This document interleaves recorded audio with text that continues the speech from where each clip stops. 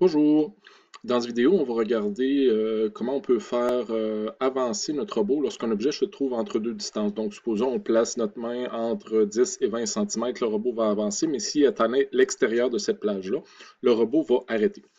Donc, première des choses, on va aller dans les déplacements. On va commencer par définir euh, les trois caractéristiques de notre moteur. Donc, est-ce qu'on veut euh, ajuster la vitesse? Moi, je vais l'ajuster à 25. Ça va être plus simple pour faire les essais. Ensuite de ça, identifier les moteurs sur lesquels euh, qui servent pour le déplacement et on va maintenir la position lorsqu'il va être à l'arrêt.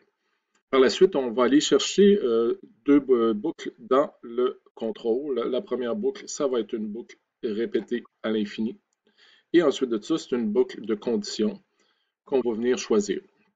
Donc, euh, la première des choses qu'on va faire, on va venir dire, ben, s'il est à l'extérieur, on va l'arrêter. Puis ensuite de ça, on va venir définir la condition qui va lui permettre d'avancer.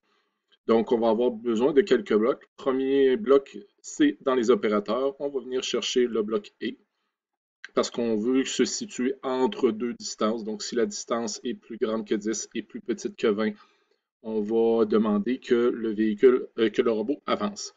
Donc, pour euh, euh, placer les conditions, on va aller dans les capteurs. On va venir chercher notre capteur de distance et on va venir chercher le bloc ici. Donc, lorsque la distance est plus grande, plus petite à une certaine valeur, donc on va venir le placer ici. Donc, lorsqu'il va être, la distance est plus grande que 10 cm, et que la distance, on va venir dupliquer le bloc ici, est plus petite que 20.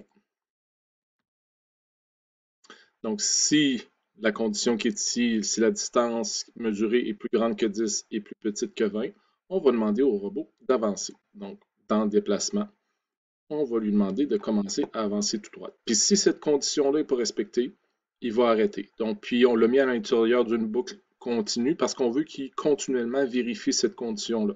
Donc, il va continuellement vérifier si les distances sont entre 10 et 20. Et ensuite de ça, ben, il va soit arrêter ou se déplacer, tout dépendant l'objet se situe à quel endroit.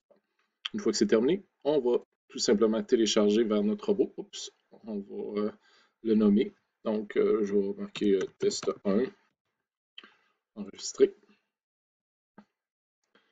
Donc, on va le téléverser vers notre robot. Et là, le robot va se mettre à avancer en fonction de la distance à laquelle on va être placé. Donc, euh, bonne découverte!